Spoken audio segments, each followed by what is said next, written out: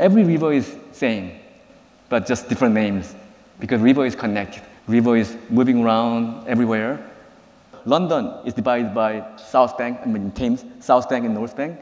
But actually, if you think this the other way, because of river, we are connected to each other. Since you have so many buildings around, everything's around, the London Eyes are around everything. So let's make a, a square kind of shape, kind of make a window stuff.